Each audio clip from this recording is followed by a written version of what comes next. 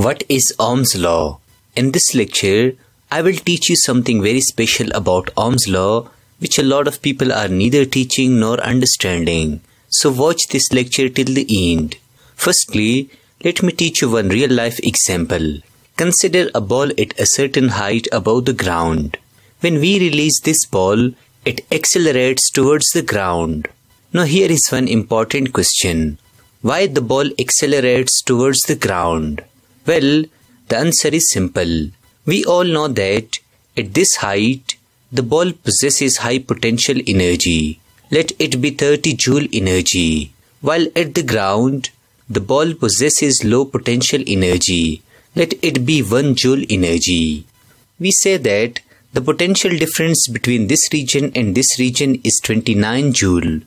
Thus it is the potential difference due to which this ball moves towards the ground. Remember that when this ball moves from high potential region to low potential region, it experiences air resistance.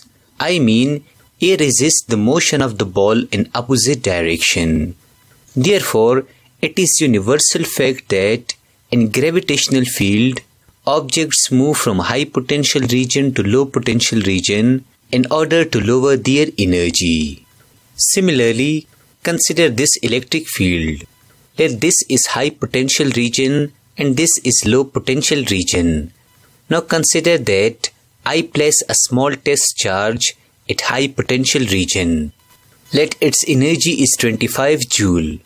Now as usual, the charged particle will move from high potential region to low potential region. Now at the low potential region, let the energy of the charge is 5 joule. So the potential difference is 20 joule. Thus it is the potential difference due to which this charged particle move from one region to another region. Therefore, it is universal fact that an electric field charged particles also move from high potential region to low potential region in order to lower their energy. Now, as we learned in the previous example that this ball experiences air resistance while moving from high potential region to low potential region. Similarly, this charged particle also experiences resistance when it moves from high potential region to low potential region. Now listen carefully. We all know that current is nothing but the net flow of charges per unit time. Here, when this charged particle move from high potential region to low potential region, we say that current is produced. Let me repeat it. When this charged particle move from high potential region to low potential region, we say that current is produced.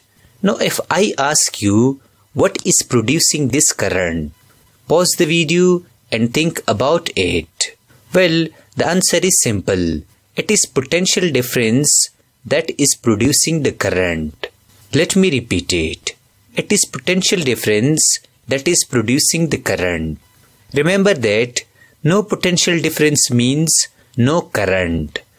Thus note it down that potential difference always produces electric current.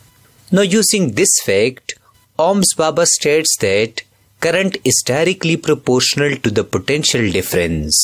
Secondly, Ohm's Baba states that current is inversely proportional to the resistance.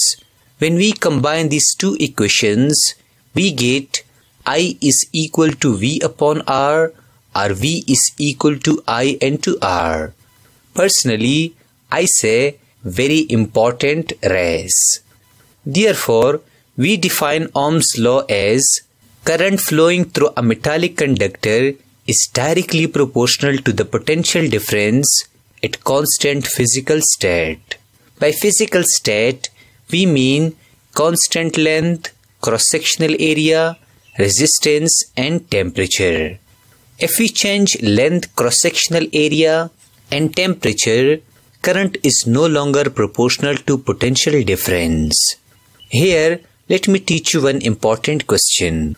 How can we generate potential difference in electric circuit? Well, using cell or battery, we can easily generate potential difference. For example, this battery can generate 1.5 volt potential difference, This battery can generate 4 volt potential difference and this battery can generate 8 volt potential difference. Also remember that this battery can produce maximum current because it has maximum potential difference while this battery can produce minimum current because it has minimum potential difference. So note it down all these important points. Now let me explain Ohm's law by real life example. For example, consider this electric circuit. Here, let the potential difference of the battery is 1.5 volt.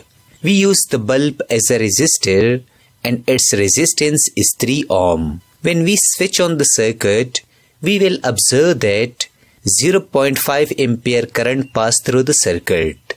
Now I am going to use two batteries having 3 volt potential difference. I mean I double the potential difference. But I keep the resistance of resistor as 3 ohm. When I switch on the circuit, we will observe that 1 ampere current pass through the circuit. It shows that if we double the potential difference, electric current is doubled. Thus, therefore, we say that current is directly proportional to the applied force and Ohm's law is 100% right. Lastly, let me teach you one of my favorite questions. Which material follow Ohm's law? Well, only metallic conductors and their alloys follow Ohm's law like silver wire, copper wire, etc. Remember that Ohm's law cannot explain the behavior of current in semiconductor devices, diodes and transistors. Finally, one bonus question. Why filament bulb or LED do not follow Ohm's law? Well, it is because with the passage of time, the temperature of the filament increases due to which resistance also increases. Hence, the physical conditions no longer remain the same. Therefore, current is not directly proportional to potential difference. So, filament bulb and LED bulb do not follow Ohm's law. I hope that you have learned all about Ohm's law.